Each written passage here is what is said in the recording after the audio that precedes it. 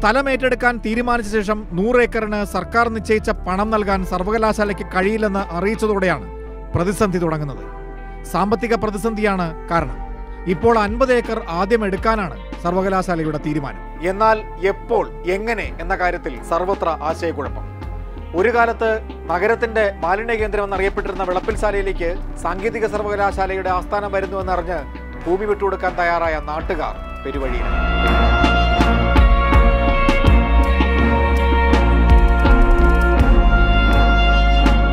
എനിക്ക് ഒരു രണ്ടര സെന്റ് സ്ഥലമുണ്ട്.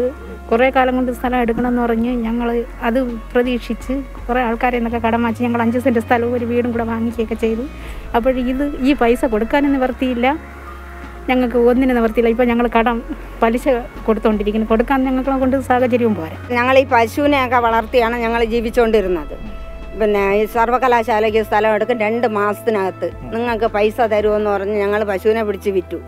പ്ലാവ് പുളി ആഞ്ഞിൽ. ഇതെല്ലാം ഞങ്ങൾ മുറിച്ചു വെച്ചു. ഇത്രയും ദിവസമായിട്ട് ഇപ്പം ഞങ്ങൾക്ക് പൈസയും ഇല്ല. ഞങ്ങൾക്ക് ഏതായാലൊന്നുമില്ല ഒരു മോളുണ്ടായിരുന്നു. മോളെ കെട്ടിച്ച് മോക്ക് കൊടുക്കാൻ നിവർത്തിയില്ല.